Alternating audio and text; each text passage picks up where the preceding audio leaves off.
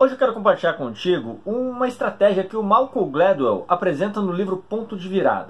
O Malcolm nos mostra que você precisa trabalhar três perfis de pessoas ao seu lado para defender uma ideia dentro de uma grande massa de pessoas.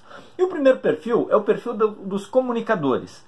Os comunicadores são pessoas que possuem uma rede de contatos muito vasta, muito ampla. E por mais que muitas vezes esses contatos sejam contatos fracos, ele tem conexões com diversos segmentos de pessoas diferentes. E isto é fundamental para que você consiga disseminar uma ideia.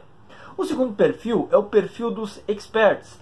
Os experts são pessoas que gostam de estudar e, quando eles acreditam em uma ideia, eles defendem essa ideia. E, principalmente, as pessoas confiam na opinião dessas, uh, dos experts.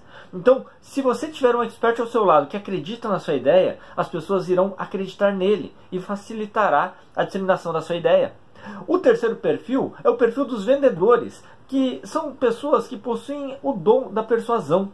Vendedores são fundamentais para quando algum grupo de pessoas estiver indeciso sobre que decisão tomar, os vendedores vão te ajudar a levar essas pessoas com você.